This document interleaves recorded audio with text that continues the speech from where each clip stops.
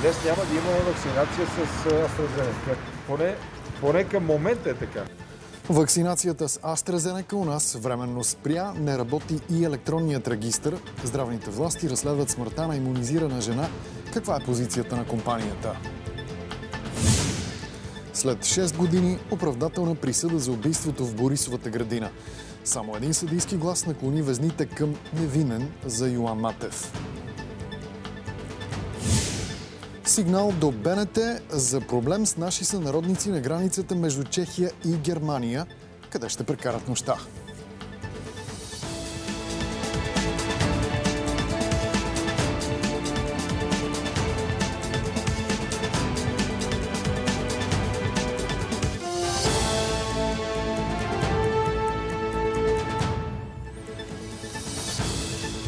Петък, 12 март. Това са късните новини по света и у нас. Добър вечер. Вакцинацията с AstraZeneca у нас временно е спряна, не работи и електронният регистр. Причината смъртен случай, часове след поставяне на вакцина. 57 годишна жена е починала, тя е била с множество придружаващи заболявания. Здравните власти предполагат, че вакцината няма връзка с смъртта и, но обстоятелствата се изясняват. Жената е вакцинирана вчера в 12 часа на обяд. Прибира се вкъщи без никакви оплаквания. Три през нощта получава остър задух. Пристигналият екип на спешна помощ установява смъртта й. Категорично няма образуване на тромби, тъй като това е изключително важен въпрос, който вълнува хората. Била е с наднормено тегло. През 2005 е претърпяла операция на сърцето. Има поставен троен байпас. Кардиологът и доктор Мария Ганчевска казва, че състоянието й преди вакцинацията не е било влушено. Състоянието е такова, каквото е било миналата година. Не е имало опасност да бъде вакцинирана. Ако имаше опасност, ако съм предполагала, че има и най-малка опасност, да нямаше да е вакцинира. Не сме безотговорни лекарите. Каква е партида е вакцината? Знаете ли, с която ами всъщност... не е от тази, заради която всъщност.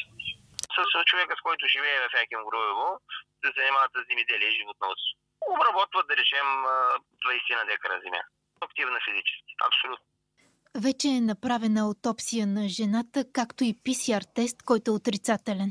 Работната диагноза към този момент е остра левостранна сърдечна недостатъчност с тежък белодробен отток на фона на тежка атеросклероза и тежки сърдечни промени.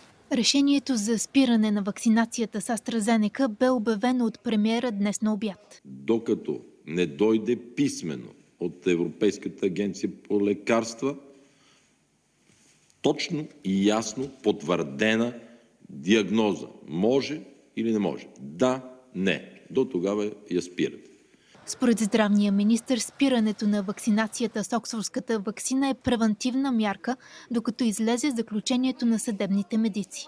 Няма абсолютно никакви притеснения за хората, които са се вакцинирали. Нямаме данни, официални данни, които да доказват причинно-следствена връзка. Дори в тази ситуация предполагам, че такава причинно-следствена връзка няма да бъде намерена, но ние сме длъжни, мислейки за живота и здравето на всички, да вземем тази превентивна мярка и сме го взели още сутринта. Още по обяд иммунизационните пунктове вече бяха официално уведомени за спирането на вакцинацията. Днес няма да има вакцинация с AstraZeneca. Поне, поне към момента е така. Чих съобщение от Софийска районна здравна инспекция да прекратим иммунизацията с вакцината на AstraZeneca и прекратяваме дейността. Да ви кажа ли, че хем е забранено, хем няма, не могат да ни прехвърлят часовете, хем няма друга вакцина. Гърми цяла Европа, естествено и човек да има опасения, но въпреки всичко дойдох да се вакцинирам. И сега какво правим? Кажете какво правим? Ако вакцинацията не бъде възобновена скоро, дозите от отворените флакони ще бъдат загубени. Тези дози, които са извадени, те, тях бих искал да употребим. До момента, до когато ни казаха да не вакцинираме, ние спряхме. Ето, останали са ни 4 спринцовки само. Електронният регистр временно също преустановява дейността си. Които са в този електронния регистр вписани? Какво трябва да направят? Значи ние ще ги уведомим по телефоните, че за момента е спряна вакцината. Не мога да кажа до кога. Днес са пристигнали 80 000 дози от AstraZeneca, които ще се съхраняват в Булбио до решението на Агенцията по лекарствата. Вакцинацията ще продължи с наличните количества от Pfizer и Moderna. Късния следобед от AstraZeneca разпространиха позиция във връзка с безопасността на вакцината си срещу COVID-19. В нея се казва, че профилът на безопасност на вакцината е широко проучен в фаза 3 от клиничните проучвания и независимият преглед на данните потвърждава, че вакцината се понася добре като цяло. Производителят подчертава, че анализът за безопасност не показва данни за повишен риск от белодробна емболия или дълбока венозна тромбоза при приложение на вакцината срещу COVID-19 на Оксфорд във всяка отделна възрастова група, партида или страна. AstraZeneca заявява, че има готовност да достави планираните количества за България. А каква е ситуацията на Стария континент? Здравните власти на Дания първи още вчера обявиха, че спират вакцинацията с препарата на AstraZeneca. Причината съобщения за тромбози при вакцинирани хора. От съображения за сигурност препаратът временно няма да се използва в Исландия и Норвегия. България стана четвъртата държава, която изцяло спира поне временно иммунизацията с AstraZeneca. Различен подход избраха в Австрия. Виена – стана първата страна в света, която стана първа, която спря употребата конкретно на тази съмнителна партида. А, примера на Австрия последваха още Естония, Латвия, Литва и Люксембург. Друга партида вакцини на AstraZeneca изтеглиха от вакцинационните си центрове Италия и Румъния. Причината там смъртта на двама италианци. Според Световната здравна организация обаче няма причини да се спира използването на вакцината на AstraZeneca, а фармацевтичната компания отново намали прогнозата си за доставка на вакцини за страните от Европейския съюз за първото три месечия на годината. Очаква се до края на март фирмата да достави 30 милиона вакцини, което е намаление с 25 на 100 спрямо обещаното миналия месец. Първоначално AstraZeneca обеща 90 милиона дози за първото три месечие.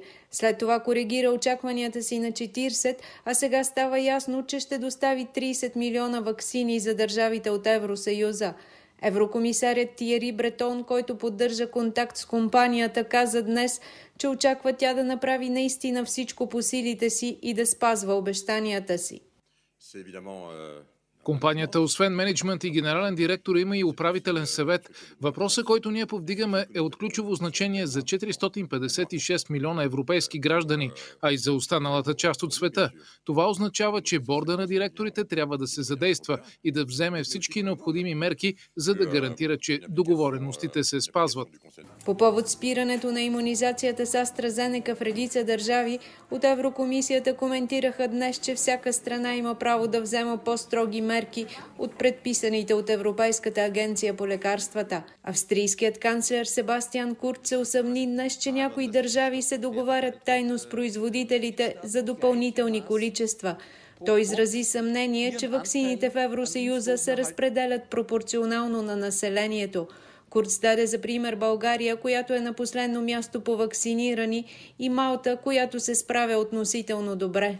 Доставките не са пропорционални на населението. Изглежда, че тази практика ще се засили през следващите месеци и разликите между държавите членки ще стават все по-големи. От Еврокомисията обаче отново обясниха, че всяка една държава решава самостоятелно коя компания да предпочете и какви количества да поръча. За това се получават разлики между отделните страни.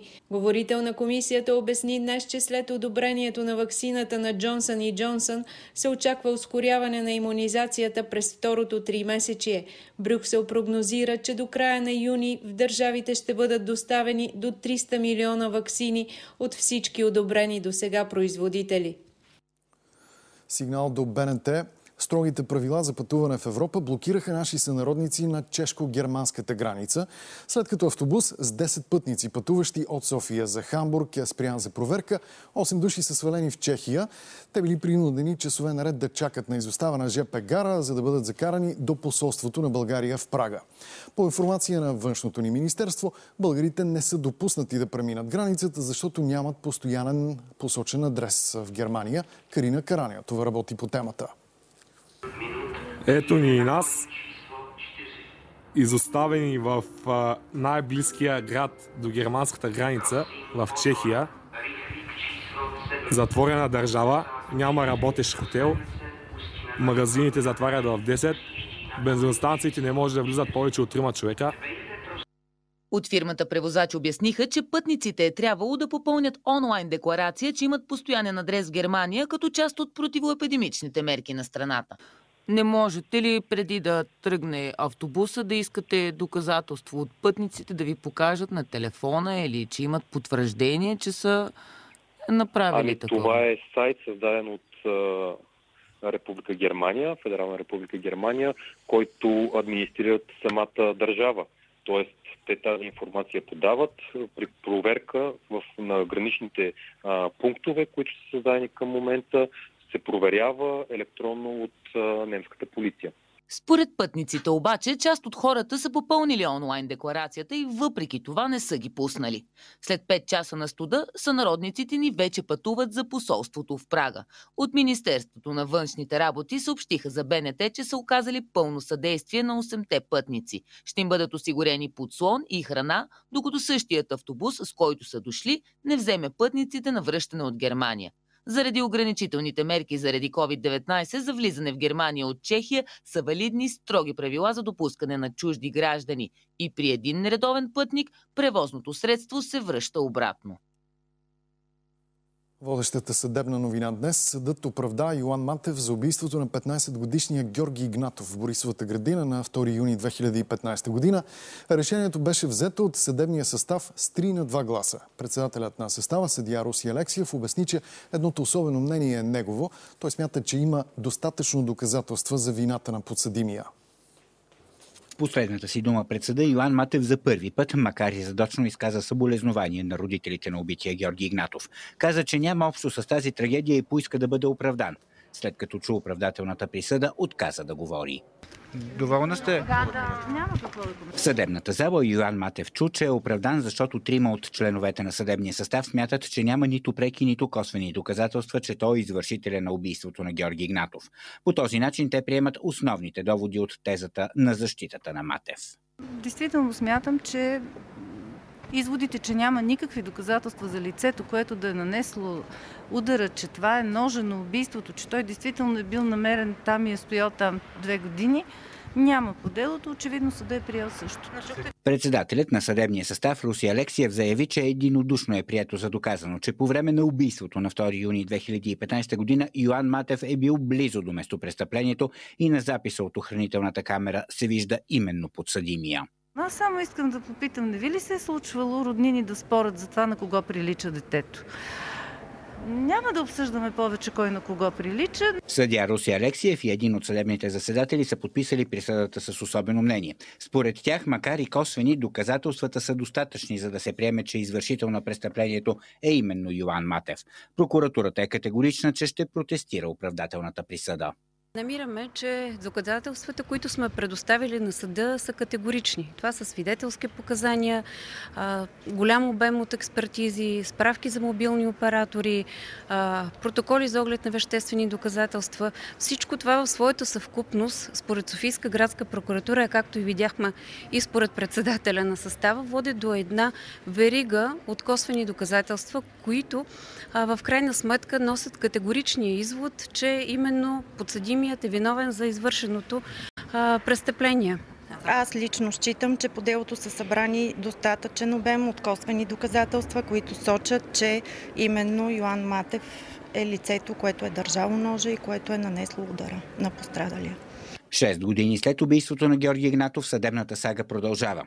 Делото отива в апелативния съд.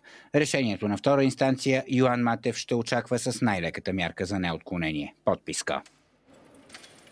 Как се стигна до изправянето на Матев пред съда, да си припомним фактите. На 2 юни 2015 година столицата е разтърсена от зловещо убийство посред бял ден в Борисовата градина. 15-годишният Георги е намерен мъртъв на пейка в парка. Съдебните лекари установяват прободна рана, нанесена с нож, която е засегнала жизненно важни органи. На 22 февруари 2017 година за убийството е задържан Йоан Матев. Тихомир Игнатов припомня. Няколко дни след убийството МВР разпространява кадри от охранителна камера в района, която е запечатала предполагаемият извършител. Така започва издирването на самотния бегач. Кадрите са обработени допълнително от експерти от ФБР в опит да бъде установена самоличността на младия мъж. Разследващите проверяват различни версии от любовен сюжет, сбиване на привърженици на спортни отбори до въоръжен грабеж.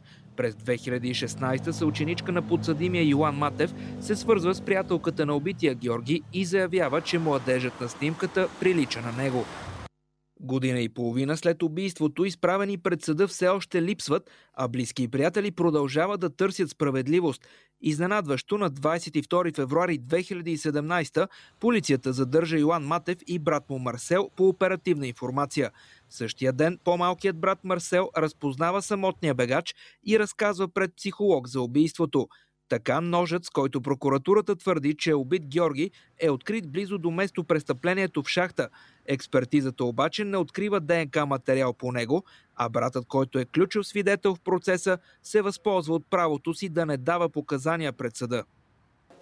Хода на делото са разпитани учители и ученици от гимназията, в която учил Йоан Матев.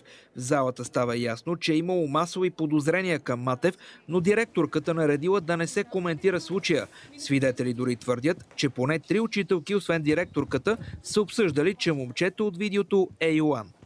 На 10 април миналата година Йоан Матев е освободен под домашен арест с гривна за наблюдение. Няколко месеца по-късно криминалният психолог Тодор Тодоров разказа в съда, че психологическият профил, който изготвил година преди да има още заподозрян, почти напълно съвпада с този на подсъдимия. И още една присъда 25 години лишаване от свобода получи Иван Пачелиев, обвинен за убийството на фелдшера Димитър Факиров в здравната служба на Тополовградското село Орешак през октомври 2019. Пачелиев остава в ареста, постанови още съдът, защото има опасност да се укрие или да извърши други престъпления. Признава подсъдимия Иван Георгиев Пачалиев за виновен, поради което го осъжда на 25 години лишаване от свобода, което да изтърпи при първоначален строг режим. Иван Пачелиев посрещна безмълвно присъдата. Той беше признат за виновен, че умишлено е омъртвил фелшера, като е намесал 38 удара с нож. Пачалиев беше признат за виновен и за притежание на голямо количество боеприпаси без разрешително за това. Едно добро начало, ще се борим за доживотна.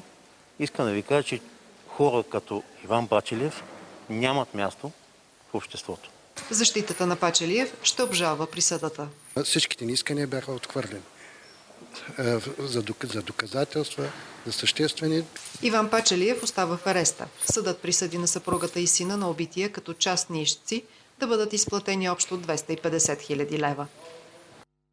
Задържаха за 72 часа двамата мъже, баща и син от село Стражец, които вчера бяха заловени след кражбата на пътни знаци на стоеност 5000 лева. Те са криминално проявени. В понеделник съдът ще реши дали да ги остави в ареста. През последните две години съпругата на по-възрастния мъж е подавала над 20 сигнала в полицията за домашно насилие. От полицията в Разград уточниха, че мъжът и 34 годишният му син срязали тръбите на знаците с ножовка и ги докарали вкъщи с каруца. Служителите установиха лицето в момент на демонтиране на тези стълбове и опит от същия да ги укрие. Същите, както виждате, към момента не могат да бъдат използвани по предназначение. Разследването в районна прокуратура е образувано за, за кражба от тези две лица. Повдигнато обвинение днес през 2013 година са осъдени също така за квалифицирана кражба, отново в съучастие, отново за кражба на метални предмети. Хората от селото казаха, че бащата и синът нямат постоянна работа. Абе не работят, бе. Те работят тук къщи, кой да работят? Те не са на служебна работа. Трябва да се отказват някъде нещо. Е там, на бабет. Пиеме. С 13 криминалистически регистрации, осъждане за извършени кражби, множество от него. Последните две години имаме над 20 сигнала от съпругата му за извършено домашно насилие. Прокуратурата проверява защо директорът на областното пътно управление е подал сигнала за престъплението дни по-късно. За посвета и у нас той обясни, че кражбата на пътните знаци е открита на 5 март. И тъй като следващите два дни са били почивни, за това е уведомил органите на реда в понеделник на 8 март. Завършваме картината от днешния ден с впечатляващи кадри, заснети в предградие на Сидни. Над австралийския град премина грамотевична буря с най-опасната си категория, известна като суперклетка. Това е рядък вид буря, при който се наблюдават разрушителни ветрове, градушка с огромни ледени късове или торнадо. Фронтът на суперклетките може да надвиши 30 км. За щастие няма данни за сериозни поражения от бурята в Сидни. А за времето у нас, след малко информация от Владимир Ковачев, още новини има в сайта ни bnetnews.bg в мобилното ни приложение. Спокойна нощ!